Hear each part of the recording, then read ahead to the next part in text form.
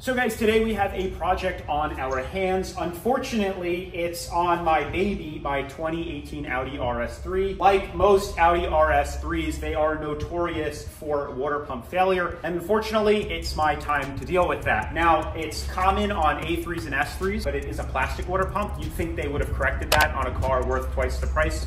They did in the in the terms that they made it aluminum and not plastic, but they still leak. Mine at 29,000 miles, which is mind boggling. So today we're gonna have to put this $300 part in here. And if you come look a little closer, let me show you where the water pump is. Right there. As you can see, it's a pain in the butt. So I'm gonna show you, walk you through this because it's not as hard as it might seem, but it is definitely above a beginner level. I'd say this is more on the moderate to almost an advanced level of fixing these cars, but I'll show you step by step how I do it. I'll show you how to do it. And then lastly, for those wondering why I didn't just bring this to Audi and get it done, not only did the Audi of Fort Myers quote me $1,000 for this part, which I got straight from the UK for 350. I'll put a link to it down in the uh, description below. But they charged, they wanted to charge me, I got a quote of $3,000 to install this. Three grand to install a $300 part. So with that being said, I'm gonna show you what $3,000 worth of labor looks like and you'll be the judge. Let me know down in the comments below, but let's dive right into it. So in regards to the parts you're gonna need, it's really, there's not that much. The first thing you're gonna need is the water pump itself, which you can find in the description.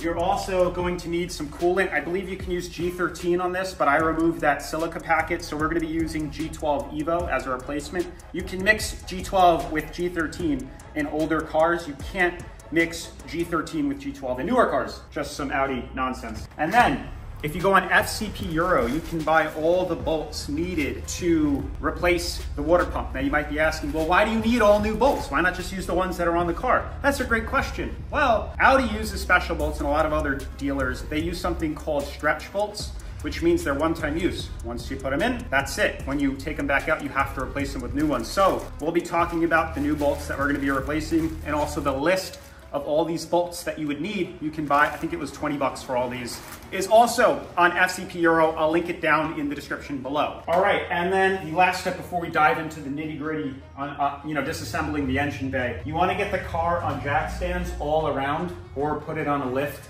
That'd be easier. You don't need to get it crazy high, but you need to get it high enough where you can access the exhaust bracket because we have to loosen that because we're gonna be doing a lot of movement of the engine to get room. And you can't do that with the drive shaft in the way and with the exhaust locked and fixed. So we have to do that. So remember, get them all around, lift the car up, not too high, it's totally fine. You could, but this is how you want it. So unfortunately with the Audi RS3 and even, you know, Golfs and the A3s, basically all those cars, the type of water pump they use fails.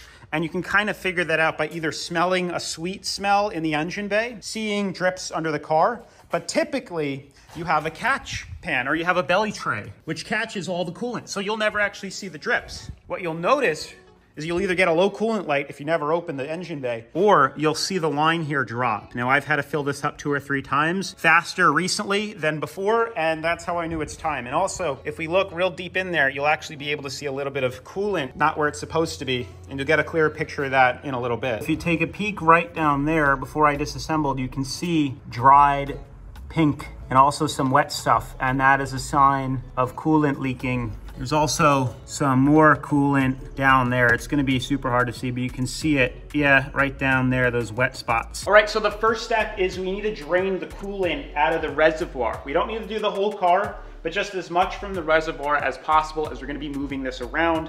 And I bought a Harbor Freight kit for like $8, and this is a pretty cool water pump or just transfer pump. So yeah, we're gonna do that right now. Obviously, any method or pump will work, but the goal here is to just drain as much of the coolant out of the overflow reservoir as possible. Now, once that's done, I highly recommend also disconnecting the battery just as a safety precaution.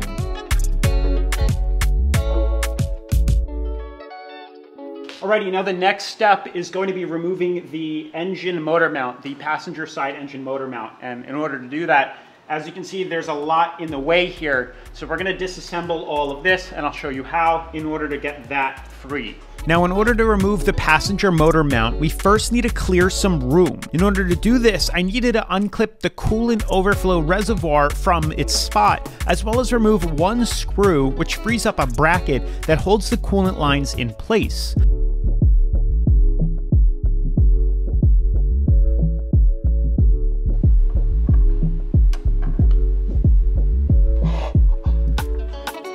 Super quick before we get any deeper into the project, uh, I just want to show you how I'm keeping track of all these bolts because there will be a lot. Go get yourself a piece of cardboard, cut a hole. I'm going to block my face so you can see. Cut a hole, shove the bolts through and mark what it is and keep going down and you'll know the order of how you took everything apart. So when you're time to put things back in, you go up, and you keep repeating the process. Lastly, there's a small nut also that holds another bracket, which is ironically located on the top of one of the motor mount bolts.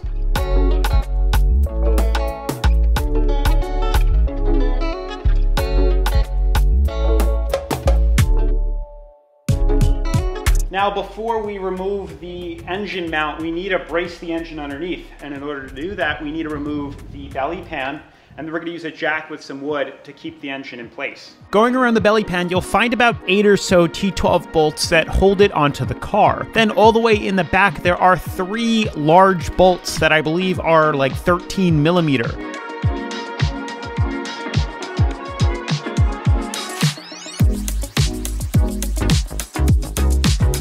Once the pan is out of the way, I use a jack with some wood so that I don't damage the bottom of the engine. Now I found a nice spot on the bottom of the oil pan and I jacked the engine up about half an inch, just enough to relieve some tension on the motor mount and motor mount bolts. Lucky for me, I was able to get my hands on the ALLDATA service diagrams, which will make finding the bolts and removing the water pump that much easier. Moving the reservoir out of the way, I could access the top bolt of the motor mount as well as the front and back bolts which all connect the motor mount to the frame of the car.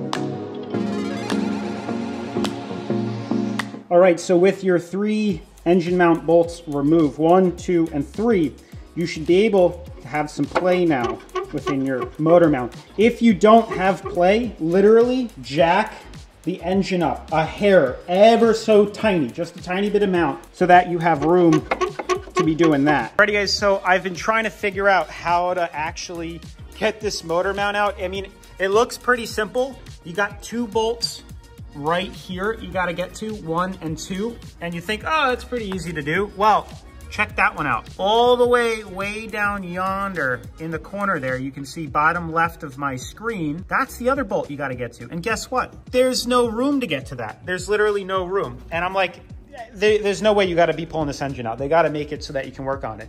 I just realized by watching some other YouTube YouTubers, you have to take the wheel off and then they put a hole through the frame rail where you can actually unscrew that bolt. So that's what we're gonna do now.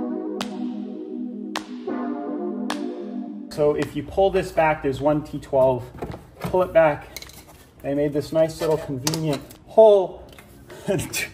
what a lifesaver, let me tell you. It's right there. So that's funny, convenient. Uh, now we gotta get that out. It's a uh, 16 millimeter. Oh, there goes my light.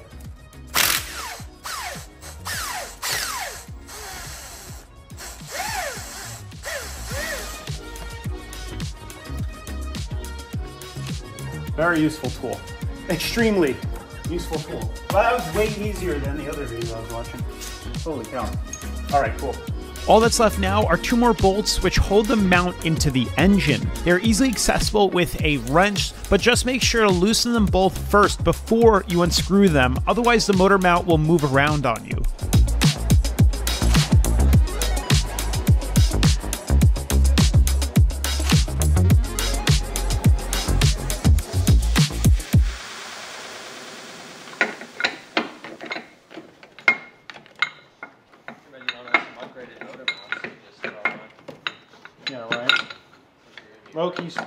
Point, but yeah. I ain't doing anything crazy, but motor mount is out. All right, so now that we got the passenger side motor mount off the car, the next step we're gonna do is remove the transmission motor mount. Um, and it's only two bolts. We're not actually taking uh, the dog bone mount out. We're just loosening two screws. And now because I'm doing that, I just wanna brace this side of the car too. And then we're gonna take the driver side motor mount off and the car will be freely able to, to move around. But we're gonna jack this side up just to get some support and then we'll get the, uh, the dog bone mount. And then actually we have to get the exhaust bolts off so that the downpipe can move with the engine.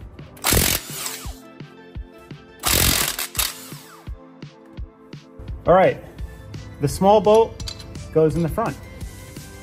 The big bolt goes in the middle. And now we have a loose mount so we can start moving this engine around. I know I'm jumping around all over the place, but after we got out the subframe motor mount bolts here, I'm while I'm down here, well, A, you can see all the lovely coolant leaking here.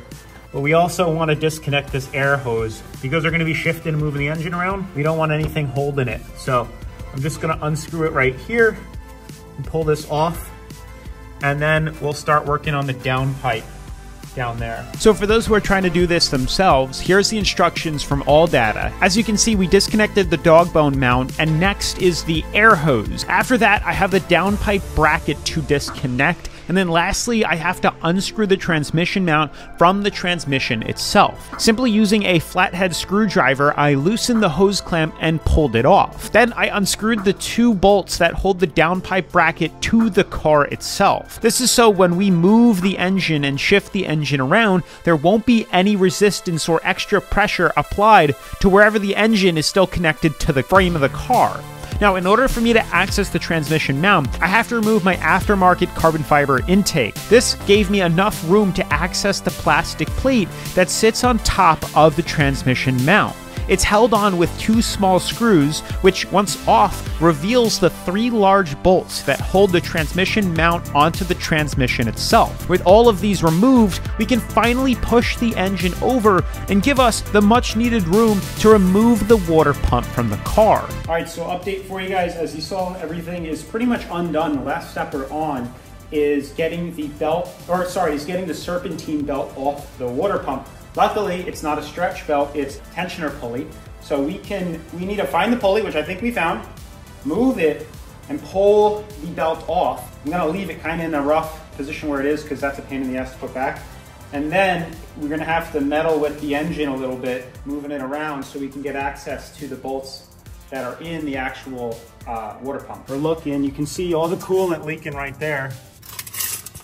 You can see all that. And then right here, this should be the belt tensioner. And this is the, wherever it is, I can't see. This is the, the nut we have to turn and it'll release tension. Right, so I have a, I think it's a 15, don't take my word on that, 15 mil. We're gonna turn this to the right, this way, and it's gonna relieve tension. Sean is gonna be right here and he's just gonna pull this off the water pump and he's gonna hold it so we can figure out how to move it because we don't wanna like fully take the belt off. Okay. Okay. Is it off? It's Y- off. Yep. So hold it. Okay. Got I'm it. gonna let tension back. Okay. All right, so belt is off. But I think just so we don't forget like, the direction, I'll like put it up over here or something. Do I see the tension now? All right, so we're at a point now. This is pretty much like the final step. This is the halfway point, if not three quarters, because reassembly should be pretty simple. I just want to show you the new water pump. The, what we're dealing with now is if we spin this, look at the three screws, it frees up, and that is a T30 that fits right in there. We need to unscrew these. Let me show you the problem. There ain't no room in there because it hits this. So I am fortunate enough, and I'll be, as you've seen, been sharing the instructions. It now says in order to remove that, we have to push the engine transmission assembly slide to the left, slightly to the left. Obviously, we need to free up space on this side, so we're pushing it that way to the, it'd be our right or this left. Now it's saying lift the engine with the right spindle. So because we don't have an engine hoist on the top mount, we have jacks.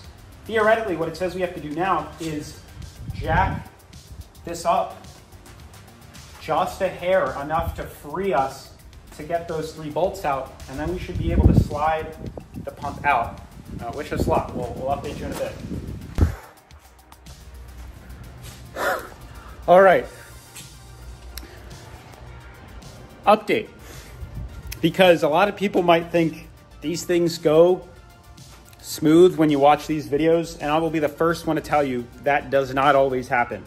And I'm like shaking from the adrenaline rush I had now. So, granted, you know, we're filming this, so it takes a while to change a water pump. It takes twice as long because I have to constantly change the batteries, check the angles, talk to you guys like this. Well, today's day two of me doing this and I should have it finished now, but the problem was I could not get the bottom bolt out, and I'll show you that in a minute. And the reason was because my Torx was too long. I was using, the only T30 that I have is a 3 8 which does not fit with that ratchet. So I've been going mad trying to figure out how to change it. Um, I bought, I went to, you know, I had, I actually went to Walmart and I also went to uh, Home Depot to get a bunch of different stuff. I couldn't figure it out. So let me show you what it is that I got and what it is and how I got it out. I started this this morning at 8.15. Granted, I had to drive to Home Depot twice, but it's now 11.30, so 8, 9, 10, three hours fidgeting with this last bolt, and I'll show you what I mean in a second. Alrighty, so I have this little kit I picked up from Walmart. I've had this for years, and I've been using the ratchet, but there was no way to secure a T30 in this. It was too shallow. So I went yesterday and I got a, uh, a newer Hyper Tough kit, the 40 piece ratchet bit set. And this is perfect. This was extremely useful because this is a lifesaver. Because if you put this bit in like one of these, like this, like that, it'll fall out. There's nothing holding it. But the kit comes with, unlike this kit, this one comes with a way where you put it in and it holds it, which is incredible. And this is just enough room to get in. Now the problem is, I bought two different styles of this. You can see here. I have a two inch Milwaukee, which is great. And I have this right here, which is the smaller one. It's about a one inch. You can see the difference. Maybe one and a half with this one. Problem was, this bottom bolt, there is like no room to get this bottom one right there. So what I had to do, every time I would use the two inch, I couldn't get it in perfectly. It's so difficult to see. I had to use my phone as a camera, as like a scope to see this get in. The problem is the engine is tilted. You actually have to tilt it quite a bit. Check this out, if this focuses. The engine is almost like, the max you can lift this side is maybe two and a half to three inches, max.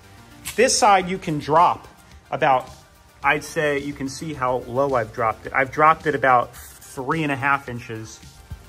And if you look under the car, you can see this side's lower than that side. The problem is every time I'd stick this in, I, you know, it's hard because you can't go straight because the engine's crooked. So you have to kind of angle it up. Well, there was too much, you know, you move this a tiny bit up and you're throwing it off like 20 degrees on the bottom. So this is too big. So this one, finally, and this is the key here.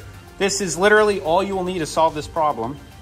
You need this key, this one, is just short enough where there's not really much play. And you have to lightly, like tap it, tap it, tap it. I also used a crap ton of WD-40 on that bottom bolt, which is right here. How does one spray that? You get one of these and you can adjust it. Very useful here. But this, this is the lifesaver. This right here, this kit saved my life. And I was gonna go to Harbor Freight, but I was like, let me try Walmart. And this this thing is a, it's Unbelievable, unbelievable. Reference, I wanna show you how low it is in there. You have to jack the car up, jack the engine up on this side and down on the other. And you can see if we shift this over, wherever it might be, let me go lower, sorry, right there. That's the bolt.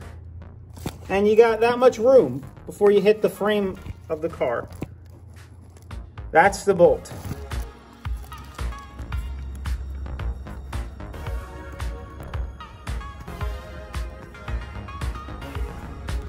With the three screws removed, we can finally inspect the old water pump and see what actually failed. Fortunately for anyone trying to replace their own water pump, the three bolts are held in with rubber grommets. So when you loosen the screws, you don't actually have to take them out of the assembly. You just need to unscrew them enough so that they are no longer in or connected to the engine. Next, you need to remove the hose that's connected to the top of the water pump, and then you can very lightly start to pull the pump out. I covered the inside area with a plastic tarp to prevent the coolant from getting all over the belts and pulleys, which I recommend doing because once you pull the pump out, you're going to lose about two and a half quarts of coolant and really quickly too. Oh, there it is. Ah! Ah, look at that. What? Did you pull it out yet? Also, when it comes time to pull out the pump, if there's still not enough room, try pushing the engine forward just a little bit while also pulling the pump out and it should clear the frame rail. All right, so for those wondering where this actually failed from, you can see it's this bump right here. I can zoom in, you can see where the coolant has been dripping right here, straight down from in there. So it actually failed inside here than the seal itself.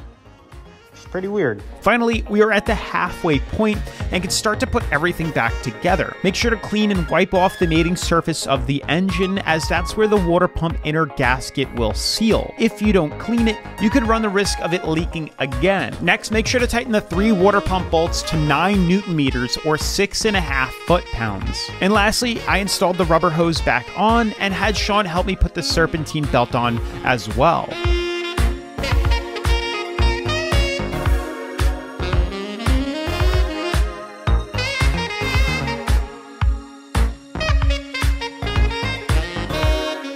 Alrighty guys, so finally, after struggling quite a bit, the new water pump has been installed into the car and we have the serpentine belt back on. It's good to have a partner doing that because if you just slap it right off. You don't have to take the entire thing off the car. I actually don't even recommend it, just push it to the side. Now, the next step we're doing, as you just saw, we lined everything up, put the engine back to being straight, and a tip. Remember this from the beginning? This is how we're going to put everything back together in the order, starting from the bottom, put the bolts back in the transmission, and we're gonna go up. However, I wanna put the transmission, dog bone, and passenger motor mounts, all the, the bolts in, uh, like hand tight, and then we're gonna torque them down to spec, just to make sure that the engine is sitting exactly where it needs to be, and then we'll tighten it. Now also, how you can tell how low the car needs to go, literally just pull this out from right here and check it out. Just line it up once you get that bolt straight through, that hole straight through, you're good. And then I guess you can use this too as a reference. Just look through these, one, two, three, and obviously we can just move the engine around however we want to align it all. Remember, when you're doing the transmission, dog bone, passenger motor mount, and a few others, you have all new hardware you need to reinstall or install. Don't use these. These are these are shot, throw them out or save them for something else. But don't put them back on the car, use new hardware. So, doing everything in reverse order, Sean and I push the engine over and roughly back into the correct spot. Then I very slowly raise the driver's side of the engine up high enough so that the holes roughly aligned with the transmission mount. After I dropped the passenger side down just enough so that the bolt hole lined up in the passenger wheel well. With everything looking good, it was time to put the motor mount back into the engine bay and loosely install all the bolts back into the mounts. It's extremely important to remember to hand thread all the bolts first as to not cross thread anything because that would not be good. Now, there's no real order to installing the bolts, just make sure to use brand new hardware and not to tighten them down yet.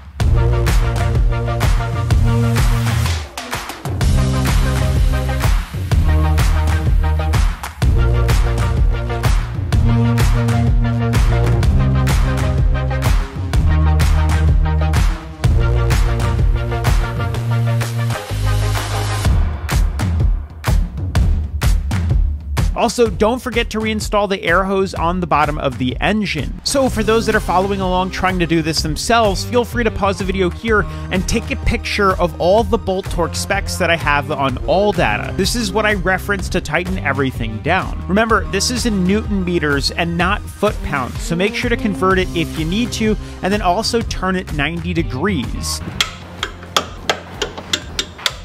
Next up was to tighten down the downpipe exhaust bracket, and these don't need to be torqued to any specific spec. Now, once everything is installed correctly, you can take the jacks off the engine and start reassembling the engine bay. Put the plastic transmission mount cover back on and reinstall your intake. All that's left now is to reattach the coolant reservoir and screw the two brackets back into place and fill the car with coolant.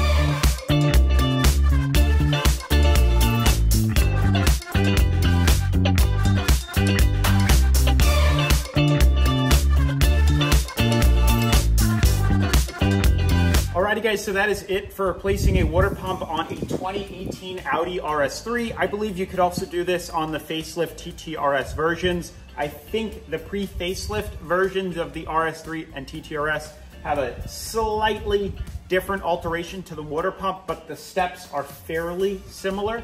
Um, you know, things just might be, you know, in different places. Otherwise, the last step in finishing the water pump replacement is actually bleeding the coolant system because you lose a lot of coolant when you take that off. Now, in order to do that, you can see uh, we've went through about, I'd say almost three quarts of coolant putting this in. Now, obviously you can't put it all in in one shot. What you actually have to do is start the car, run it to temperature, and then turn your heat and the fans all the way up to max so that this way the thermostat can turn on and the system can bleed itself of the air or burp itself of the air. Drive it around a little bit, you know, closely just to check on it, keep topping it off. That's pretty much what I did.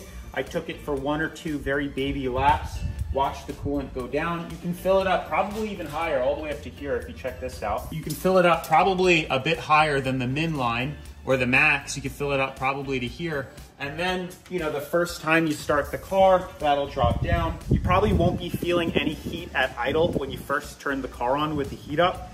And that means that there is air in the system. So you're gonna have to drive it around, top it off, check it again. And I did this maybe three times. In the third attempt, I really gave it some power. I got the engine up to about 205 degrees Fahrenheit, and that was enough uh, where all the coolant was down. And just use this as a measurement. You're gonna need about maybe a little less than three quarts of coolant to fill it back up, but just keep that in mind. And otherwise, that's it. If you like this content, then definitely make sure to smash the like button, turn on post notifications, subscribe. If you have any questions, let me know down in the comment section below. I'll see you in the next video.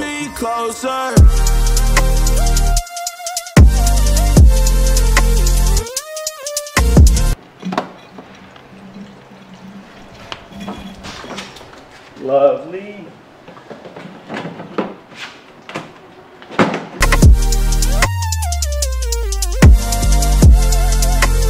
Pull me closer